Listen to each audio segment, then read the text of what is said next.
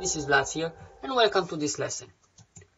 Today we'll go over um, drawing modes, path modes and the transform panel. Let's begin.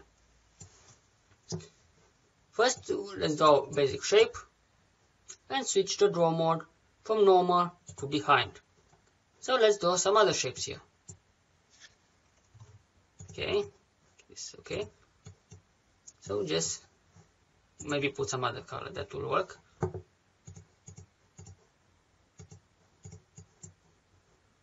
You see, everything is drawn behind.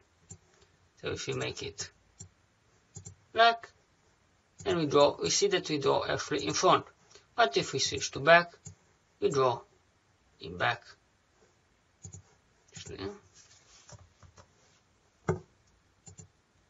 You also got the option to draw inside.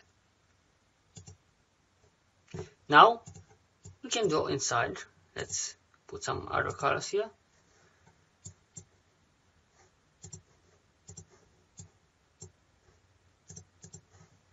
And when we switch back to normal, we see, let's delete those first, we see that everything is drawn inside. And we got a standard clipping mask made automatically without us having to draw one. This is certainly very useful. Okay, let's go and show you the transform panel. We can choose a drawing point, so let's say the top button, and if we choose the width, you can see that everything is drawn from that point, same for height.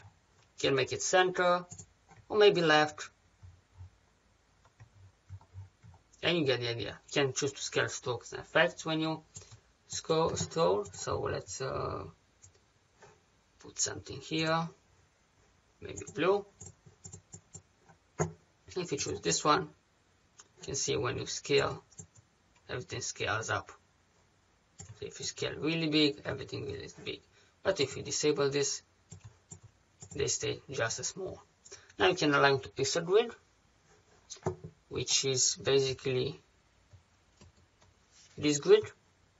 You can find it from window actually view, sorry, hide grid or show grid. And I'll show you how to work with it when uh, we get to the preferences, after the preferences lesson, when we get to guides and grids. Okay, the next one we need is the path options. So first is we see two called join and average. In order to demonstrate this, we will show you another thing. We can use add anchor points.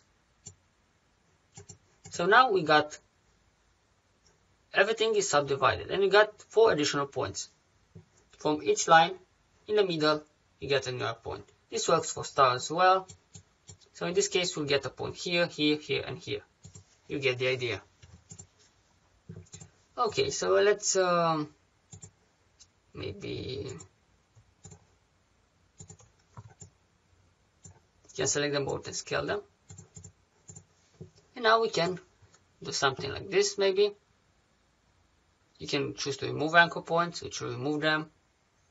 You can choose to simplify. And the object will try to uh, reduce the number of points. Now nothing happens because it's a very simple object, but uh, let's um, roughen it a little. Okay, and now I'll show you how to expand appearance which basically makes your transformation final. Okay, so let's go to path and use simplify. You can see we got original points and the current number of points. And if you drag down, the points number should still be reduced. Now there is a limit of how much you can reduce, but you get the idea. You can also choose straight lines or show original as well. Okay. Moving forward, you have the object to divide objects below. So let's say uh, we draw a star. Let's make it a different color. Objects, path, divide objects below. Sorry, you have to adjust one object selected, so divide object below and there we go we can release the compound path and everything below will be divided. You got the idea now. Okay? The next thing uh, you see join and average. Now what are those? So let's assume uh, we got the star and you want to delete this point. Let's remove it using the pen tool which will just continue the line but actually choosing the direct selection tool selecting the point and press delete. So in this case those two points are not connected.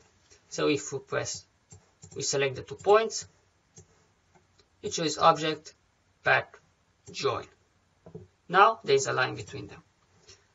For average it's again pretty simple. We go to path and select average. And you can select vertical maybe and they're all bound together in the middle remember you don't have two, one point here you have still two. So one way to get around this is delete the first point you select and press Ctrl J to unite again and join them. And there you go. The last one is called split into grid. So this allows you to make grids there you go. You just split everything into grids very useful. Okay I think I covered them all. We may have uh, one more called cleanup. Also you have outline stroke which uh, let me show you. So let's make a stroke here. Sorry to make a stroke. Maybe make it like three points. Put it on the inside. And let's say outline stroke. And if we ungroup the stroke it's separated and make a compound path okay then select this big shape. Then we got um, cleanup. And you can choose to delete stray points. You got an artboard unpainted object or empty text paths. This is nothing serious okay and that's it for this lesson. See you in the next one. Thank